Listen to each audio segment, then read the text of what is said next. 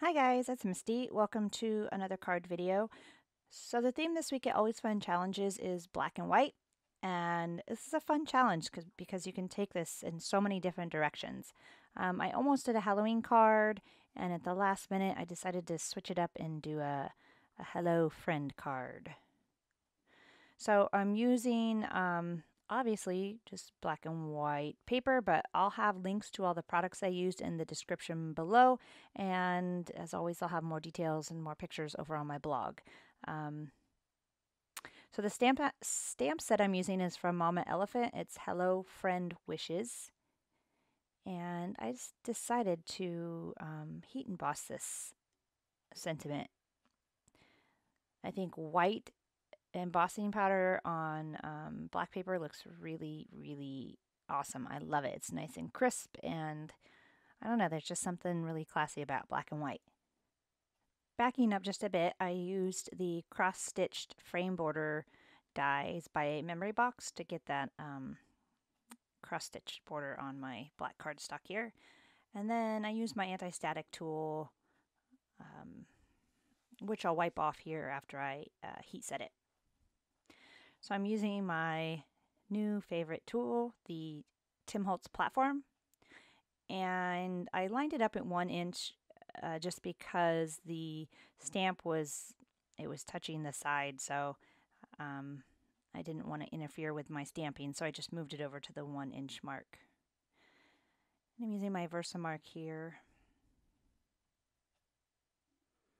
The only thing uh, one of the things I have to get used to with the platform is it always wants to, um, I don't know if it sticks or um, it, it, you can pull it out. So for some reason, whenever I try to open and close it really quick, it locks in place. And I think it just, uh, it's not pushed all the way down or something like that. But it always happens to me every time I use it, like right there.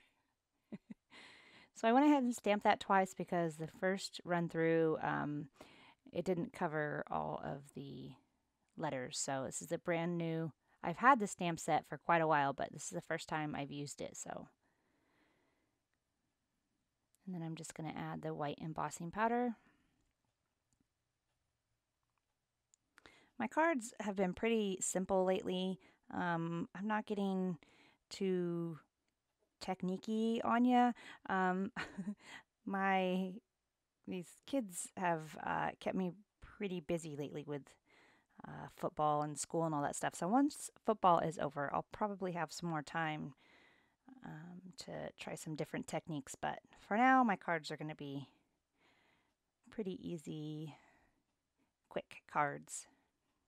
So I'm just wiping off any stray embossing powder with a fine paintbrush. And then I'm to go ahead and heat set it. I just love this stamp right here. I love the font, the scriptiness of it. It's really pretty. See the way it just pops once you heat that color?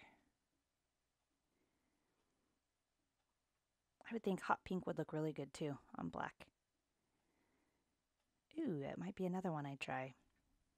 But for this week, we're going to stick with black and white. So I'm just taking a microfiber cloth and wiping off all of that excess, excess um, anti-static powder, which I think is just baby powder, but it helps. And I'm using some Perfect Pearls. Uh, I think the color is also called Perfect Pearls, but I was trying to, I wanted it to be glittery or sparkly, I guess. And I remember trying this technique um, a while back after watching a video uh, from Jennifer McGuire. And except for she did it um, with some distress inks, but I just didn't see where I messed up is I didn't wait for it to dry. So after you put the powder on, I spritzed it with water, and that's supposed to set it, but I didn't wait, and so some of the um, splatters from my squirt bottle were bigger than others.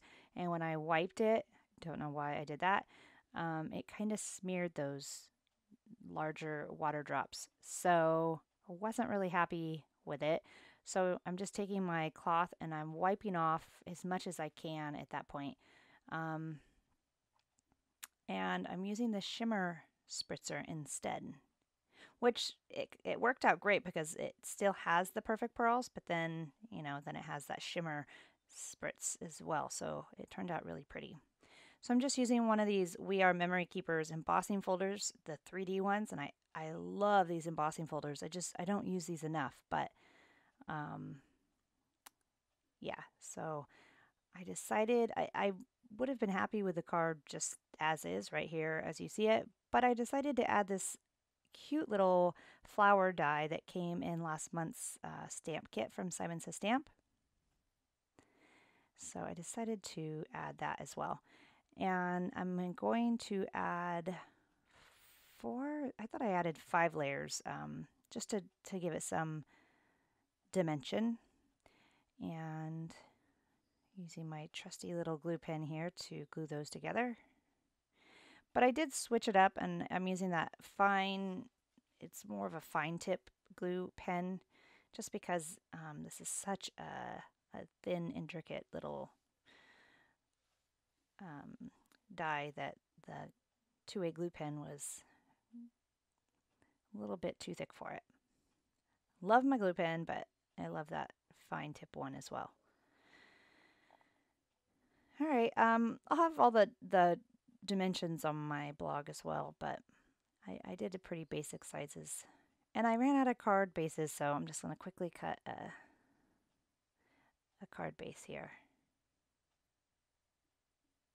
I need to, one of these days, I just need to take a day and stock up on my, my card bases and my envelopes. So I'm running out of both of those. My card base is the Neenah Solar White 110 pound cardstock. It's pretty much what I always use for my card bases. And now I'm just going to glue it all together.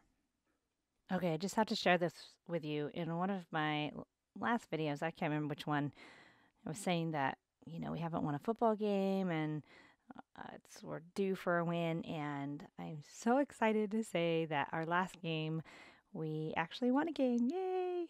I'm so excited for them.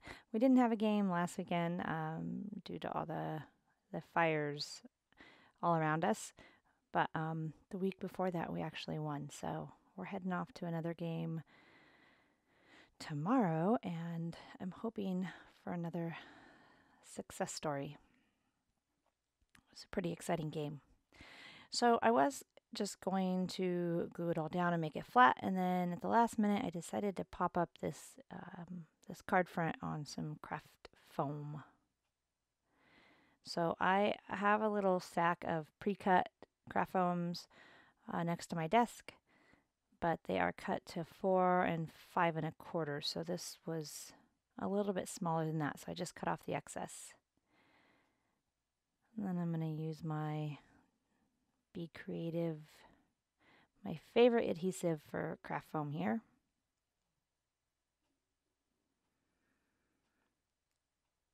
That just gives it just a little extra something. The card's pretty simple, so I'm just trying to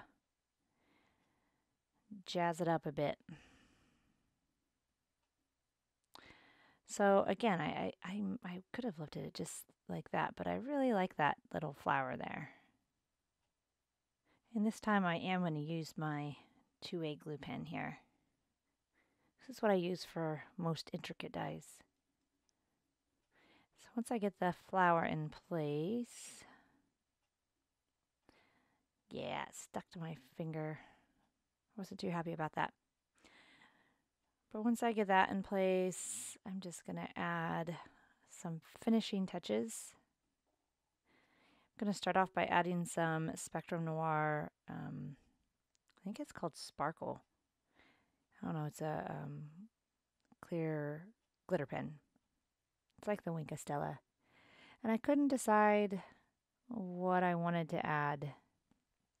I had these kind of silver glittery um, embellishments, but in the end, I went with these silver, these little silver half bead thingies. Well, they're called rhinestone stickers, but and then I always take off the sticker that it comes on because they just don't stick very well. And then I add my own glue to them. And I pulled out my multimedia matte glue, which is what I should have used, but because there's, uh, you know, so much tex texture to this card front, I decided to use these little glue dots, but they were too big for the little rhinestone. So I just cut them in half and then had a heck of a time getting them on the back of these little things. But once I got them on, I was happy with it. So, and that is it. That is my card for this week. Uh, thank you so much for watching this video, and I'll see you next week. Bye.